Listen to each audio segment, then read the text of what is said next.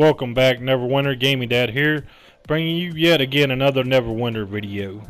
In this video, I wanted to show you how certain mounts and companions can increase your stats, and in my case, damage as a great weapon fighter. Other roles such as tanks and healers can benefit from this too.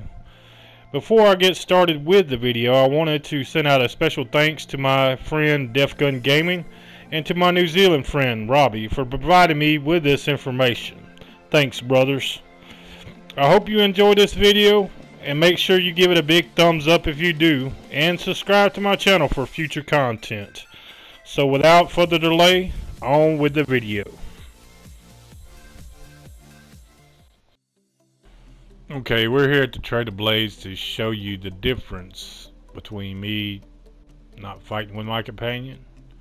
Let's see, 12k power, 9k crit. Now we're going to show you the bonus I get when I do fight my companion. So let's come over here and beat up on one of these dummies. Alright, now you can see my power went up about 3k. My crucial strike went up about 2k for a moment there. And uh, it keeps on doing that over and over again. It'll stay that way. As long as my companion is fighting, it's going to stay that way. See, 15k and 11k. You're probably wondering what's doing that. And that's because of these bonding runestones that I have on my companion. And I'll show you in just a minute what I'm talking about.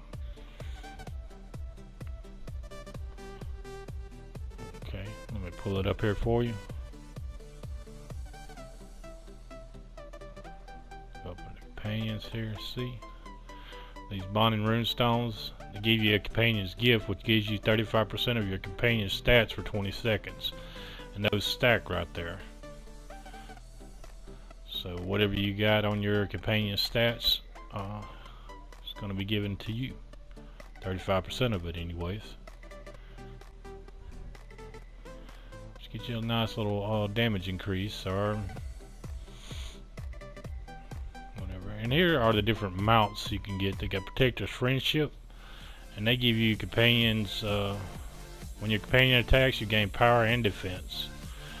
So these are kind of coinciding together, kind of helping you out there. And I got three of them, and I'm going to show you where you can get those mounts. And as far as the companion, I found a striker to uh, the striker companion to be more beneficial because he's constantly attacking so he's constantly causing that to proc well this is where you can get one of the horses right here the Palomino horse has that it's got to be able to put a uh, a barb and a regal on it the wolf if you watched my video earlier today I bought the wolf from the auction house they usually sell for about 91k. Sometimes you get them cheaper. I got mine for 75k today. Now the other mount, Gray Horse, you want to go over here and get this quest over here. And a companion right there. Over here to talk to Sergeant Knox and get the quest to go talk to this seer. Which he's not going to have that quest for me because I've already done the quest. And it's the gray horse, you can only get it one per character. But I will show you where to go to get it. Okay, talk to Sergeant Knox. He will have that quest, the Seer. Go see the Seer. And she is right up here to the left of the king here. And I'll talk to him. He ain't got nothing for us. I'm gonna go right over here. Go in here. Go up to this lady. Talk to her, she'll give you some currency. And right here you would see the gray horse. You could buy the gray horse. You can also buy an artifact and a uh, companion. Plus retraining token. The retraining token to help you wipe you out so you can respec and stuff.